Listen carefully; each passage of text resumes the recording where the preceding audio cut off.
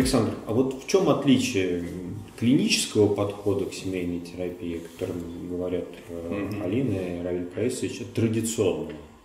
Если брать другие. Ну, мне кажется, это очень просто ответить. Ведь если взять э, традиционный подход к семье, то там ну, неявным образом есть идея, что, что семейная дискуссия обуславливает все типы нарушений. Берем семью, в ней героиновый наркоман.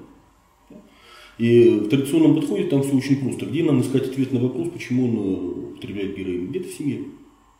Что-то там происходит не так, там надо производить какие-то манипуляции, чтобы делать с семьей, чтобы он перестал так делать. Uh-huh. Клинический подход все-таки говорит, что, извините, да, он живет в семье, но он является зависимым человеком. Давайте мы посмотрим, нет ли там индивидуальных или каких-то еще uh-huh. клинических, биологических, масса других факторов его употребления. И программа помощи, она да, включала бы семьи, тоже это несомненно важно, но и включала бы мероприятия, которые могли бы повлиять на эти индивидуальные факторы.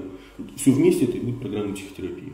Uh-huh. Получается, что клиника, она ничего не отвергает в данном случае, она все пытается интегрировать под задачи лечения. Какие-то частные отдельные концепты, они, на мой взгляд, вот опасны тем, что там есть долгие попытки, например, только семейной системной психотерапии человека с зависимостью, без учета каких-то других э, важных составляющих. Угу.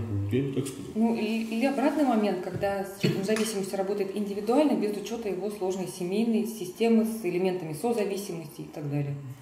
Ну, то есть такие крайности. Да, да. То есть получается, что все-таки клиническая психотерапия, она как бы находит такие, знаешь, минимально достаточные, необходимые интервенции, которые она не манкирует, а все-таки продолжает их программу. Ну, то есть, например, если говорить про того же самого человека с зависимостью, то, конечно, там должна быть работа индивидуальная, то есть должна быть какая-то программа, то есть какая психотерапевтическая, причем выбранным методом специально еще надо подумать. Вот я считаю, что личностно-ориентированная реконструктивная психотерапия часто является хорошим вариантом выбора, но она должна дополняться семейной психотерапией и будет несколько типов групп, если особенно мы говорим о такой долгой тяжелой зависимости. То есть, а, а по-другому невозможно. То есть невозможно отказаться от индивидуальной терапии, только заниматься семейной, тоже не будет эффекта. И невозможно просто, чтобы человек прошел какие-то количество групп и тоже там стал здоровым человеком. Все-таки индивидуальная программа, клиническая психотерапия определяет показания к различным инструментам психотерапии. А это метод, форма и условия оказания помощи uh-huh. психотерапевтической. Uh-huh.